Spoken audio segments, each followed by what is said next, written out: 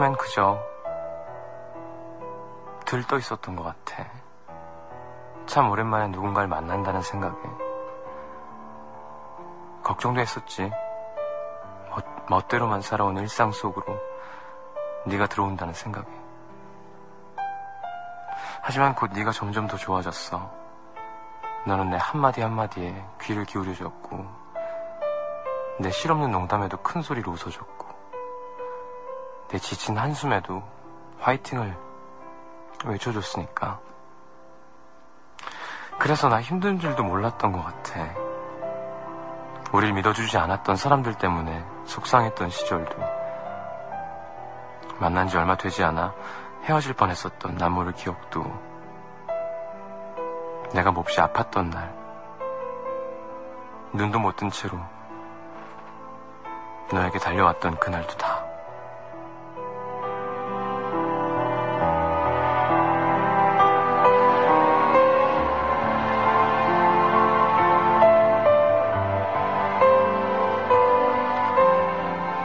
얼마나 많은 사람들이 기억해줄까? 마치 세상에 우리 둘밖에 없는 듯 밤마다 속삭이던 그 많은 이야기들. 나는 너를 통해 세상 구석구석의 이야기를 전해 듣곤 했었는데, 오늘 누군가는 마음 아픈 이별을 하고, 누군가는 드디어 취직을 하고, 가끔은 야한 농담, 수많은 문자 메시지,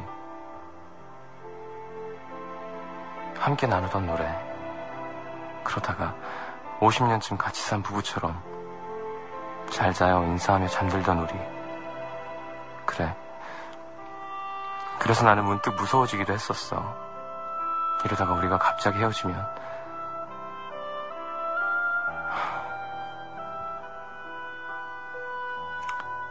어느 날 밤 12시가 됐는데 내가 더 이상 너한테 말을 걸 수 없으면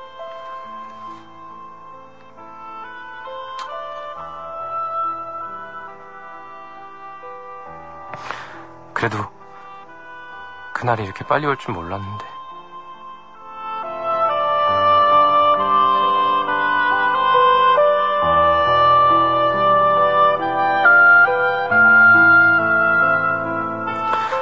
더 잘해주지 못해서 미안해. 때로 지친 목소리로 널 걱정시켰던 것도 가끔 친구들과 술 마시는 것처럼 시시한 일 때문에 마음속으로 아주 잠깐 널 귀찮아했던 것도 힘들었을 때 잠시나마 도망칠 생각을 했던 것도 미안해.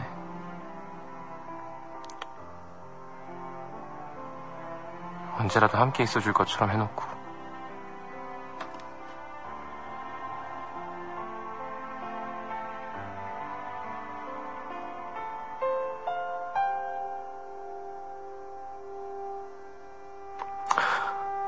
미안해.